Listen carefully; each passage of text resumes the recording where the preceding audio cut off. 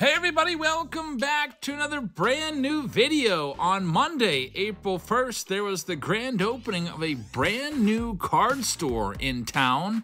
It is in Greensburg, Pennsylvania at the West Westmoreland Mall. It's called Gator JJ3's Cards. And we're going to give you a little tour and I'm going to show you some stuff that I picked up. We'll start off with some of the sealed wax that they have on their shelves. There's some of the newer product that's out there from 2022 to 2023. There you see some big league, only $40 a box. You can try to hit an influencer card in one of those from last year. They've got, of course, all different types of sports, but we mostly just focus on baseball. I'll still try to show you snippets of other sports and things that they have there.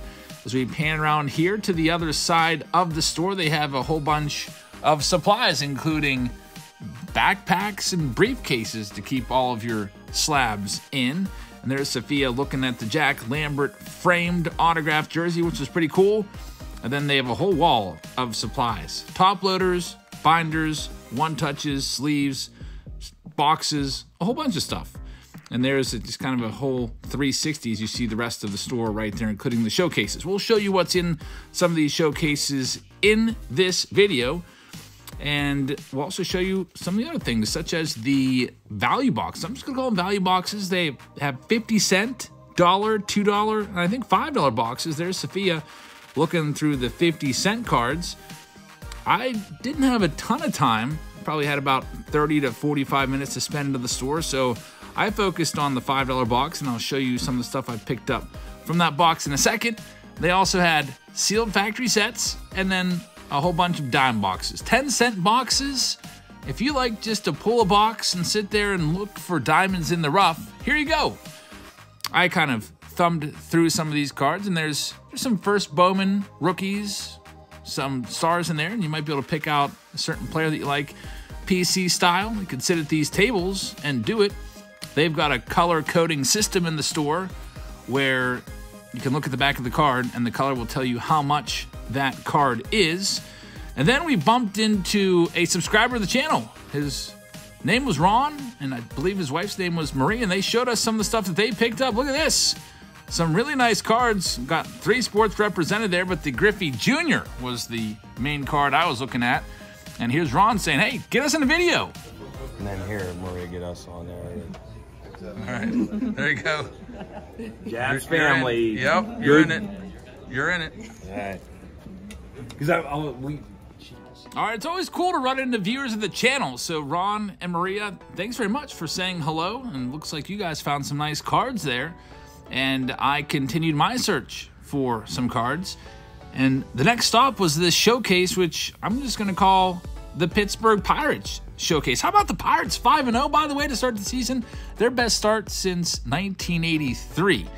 And if you missed the opening day video that I uploaded, it was 2020 Topps opening day. On opening day, I actually went on a on a limb and I picked the Pirates to win the division this year before the season started. I hope that happens. Let's continue the tour. They have a bunch of unopened wax, which is always appreciated. I mean, just from a nostalgia purpose, who doesn't love ripping an old box of wax that you used to rip when you were a kid?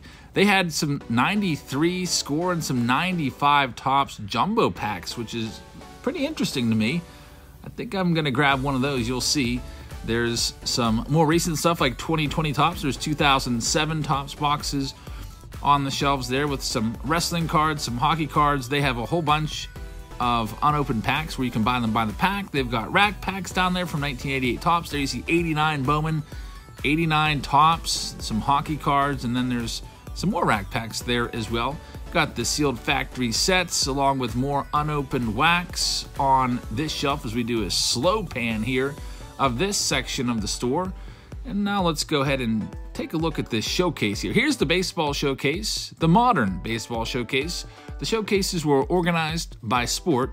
There's Sophia pointing out those Elly De La Cruzes, thinking about maybe buying those. I'll show you what she picked up in the video. And they also have, speaking of showcases, they've got cases. There's some sealed cases there from the late 80s and early 90s, if that's your thing and you want to bust open a bunch of those. And then I'm just going to show you what's in the showcase. You can get an idea of what they have, and then who knows? Maybe if you see something that you like, you can run in there and grab it. Like maybe you're in the market for a Cal Ripken Jr. rookie card, 82 Topps. There's one right there, or Derek Jeter rookie. There's one there for 10 bucks. Here's the middle row. And by the way, with card stores also, if you've got stuff, you can take it in there and, and sell it. I know that when my brother had a card store, he used to love when people would bring their collections in and show them to them. So if you've got some cards you want to unload, you could probably take them in there as well. And here is the bottom row of the showcase, and I am sure that they are going to be getting more inventory in day after day, as this was just opening day of the card store. Here you see some recent wax. They have 2000, 2001 Topps wax boxes there, which are always, always very, very appealing or alluring to me. Well, I'm, I'm going to buy one of those. You'll see. And then here is the $5 box. There's some nice cards in there. Roger Clemens, rookie, an old vintage Warren Moon from maybe 85. Billy Ripken, corrected error card. Troy Aikman, $5 a piece. Those boxes were sorted by, multi, by, by I guess, value, and they're multi-sports. That entire box was $5. I picked out a handful of cards there. And then here we see some of the other sport showcases just to show you that it's not just baseball they have. They have a football showcase, a basketball showcase, and then they've got a vintage baseball showcase here as well. So here you see a bunch of cards from the 60s and 70s with the yellow stickers on them. And just kind of show you what they've got. You'll see some Hall of Famers in there like Hank Aaron, Johnny Bench, and some major stars like Pete Rose. So there's that.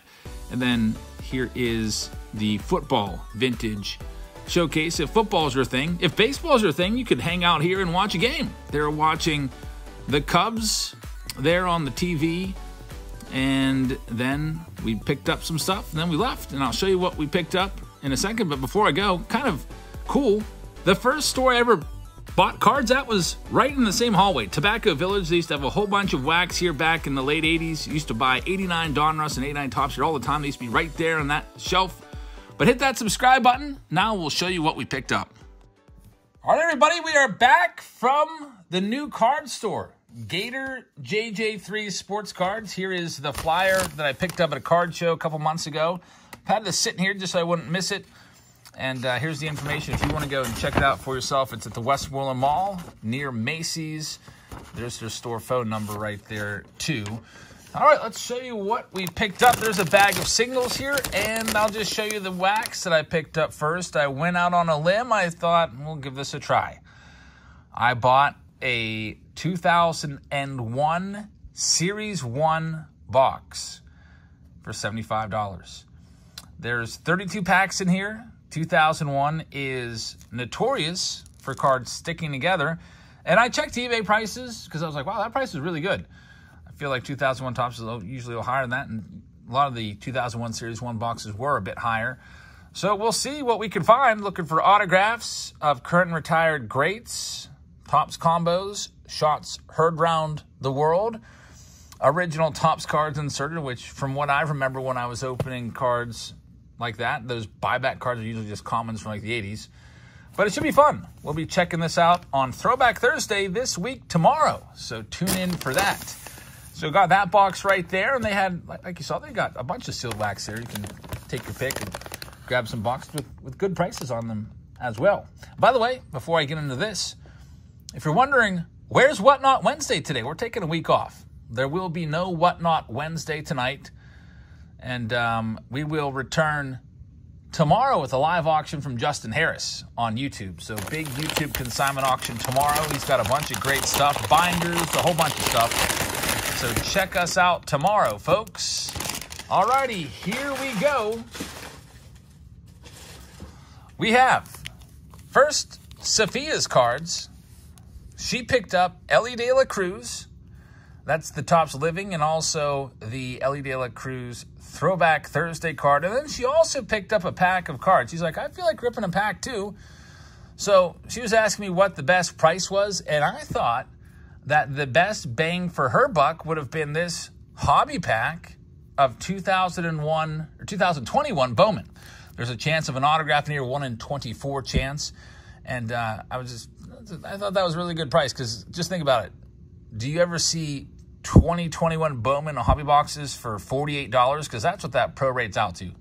24 packs at $2 a piece. That's a ridiculously low price. I know the 2021 Bowman set is probably the worst of the recent Bowman releases, but still, chance of an autograph there. So she picked that one up. She's uh, currently asleep, so I would have her come and rip this, but I think we might save that one.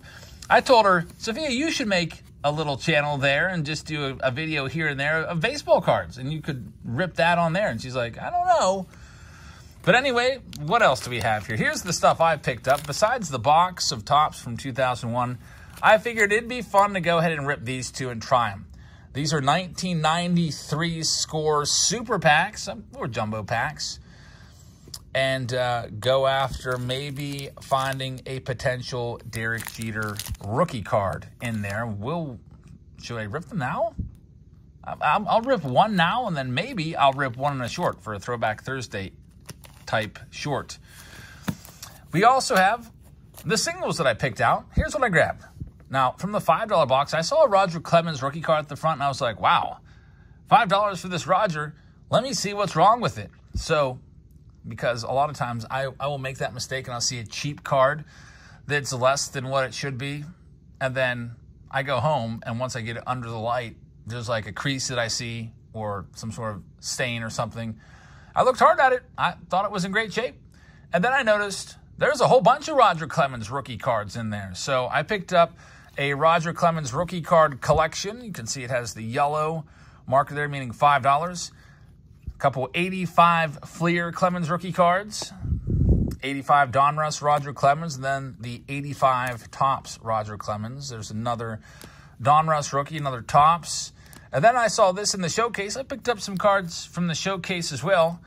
We have here Mr. Ernie Banks, Mr. Let's Play 2. It is a piece of his game worn jersey. It's numbered to 99 it was $25, which is pretty good for a Hall of Fame game worn jersey, especially of a bigger name like Ernie Banks. This, this isn't like he's like one of these like lesser known Hall of Famers. He's one of he's like a top tier Hall of Famer right there. That's a that's a great card. I also had to join Sophia with getting the Elly De La Cruz cards because I I think these two rookies are kind of tough to find. You can only get them if you bought them off of Topps online, and if you missed it, you can't get them anymore. And then he had the Michael Jordan short print there for 15 from 1991 Upper Deck. I don't know why, but I like this card a lot. Whenever I see it for a good price, I will buy it. Just kind of like Ike. Ike from uh, Ike's Art Studios. He loves this card too. I think this is his his like favorite card, and I like that one as well. All right, let's pick one of these cards and open up, or one of these packs and open it up and see what we can find. Left or right? I'll go with right. 1993 score super pack. I feel like in 1993, Score was probably the set that I collected the least of the major sets. Topps was number one, and Upper Deck was a close second. After that, there was Donruss. Maybe Fleer was down there as well. I didn't buy a lot of Fleer, but I didn't buy a lot of Score either. I don't know if I just thought it looked and felt cheap or what, but here we go 1993 Score. Let's see if we can hit a Jeter in here. All righty, so we got Pat Borders, Tim Raines, who's a Hall of Famer, but unfortunately the card's maybe a 10 cent card, you know. Eric Davis right there, and we've got, I used to like these, these leaders cards I thought were kind of cool. Score Select Leaders card. That's interesting. They put a select card as an insert in there instead of its own set. We got Hall of Famer Dennis Eckersley right there, and Omar Vizquel. I used to call those the big head cards as a kid. Dream Team of Andy Van Slyke. That's my favorite card in here. Wonder what's going on in this picture. Is he sitting at a ball game, just all dressed up? Andy Van Slyke was my favorite player when I first started collecting cards. And that one's pretty nice. There's the back of the card. Andy Van Slyke, 93. I think that was his last year in Pittsburgh. We've got Rick Helling. That's the card we're looking for, the draft, the design we're looking for. The draft pick card is the Derek Jeter design. Tommy Greene, after throwing a no hitter right there. What else do we have? George Bell, Charlie Leibrandt, Kevin Mitchell. Still no Jeter. I wonder what the odds are of finding a Jeter. There's 35 cards in the pack, probably like 1 in 20 packs or so. If there's maybe 700 cards in the set. I can't remember exactly what it was for score. Maybe 660 cards. There's Bernie Williams. He was a great player. I never liked Joe Oliver as a kid, but he ended up as the Pirates' backup catcher at one point. Brady Anderson. I liked his sideburns a lot when I was a kid. In fact, when I was a teenager, I forget what, maybe it was after the year he hit like 50 home runs in a season. I grew my sideburns just like Brady Anderson, like down past the years. There's Danny Tartabull, and we've got everybody's favorite Mark Grace. And it looks like we're not going to get Derek Jeter in there. We finish off with an Orel Hershiser. But I like that Andy Van Slyke card. I'll take that. Didn't get $6 worth of cards from the pack, but the reason those are $6 is because of the Jeter opportunity. So there you have it. A card store tour, which can be a, a tongue twister. I'm glad I said it right. A card store tour from Westmoreland Mall. So if you want to check it out, if you're in the Greensburg area, and there's a lot of card shows in this area as well. There's usually a Westmoreland card show every few months. Usually have a few there per year. I think the next card show at the Westmoreland Mall, if I'm not mistaken, is April, so coming up soon, April 19th, 20th, and 21st. So if you mark your calendars, you can head out to the card store and also hit up a card show and make the trip uh, doubly worth it. So, folks, thank you very much for watching. I hope you guys enjoyed this one. Again, no Whatnot Wednesday tonight. We'll be back tomorrow with a big consignment from Justin Harris. And also, we'll be ripping open this old box of 2001 Topps. Let's hope that they're not all bricked up, stuck together. If they are, I think we're going to have to scrap this one and pivot and do another box because that actually happened before. I had a box of 01 Series 2, I think. Ripped it open on the channel or for the channel. Everything was bricked up. Pulled like a couple Ichiro rookie cards, I think, but I couldn't upload it because it was just so cringy with peeling apart all the cards. I think I put it up as a Patreon only video like a couple years ago. But we'll see what happens here. So, folks, thank you very much for watching. I hope you guys have a fantastic rest of your evening, and I will see you all tomorrow. Good night, everybody.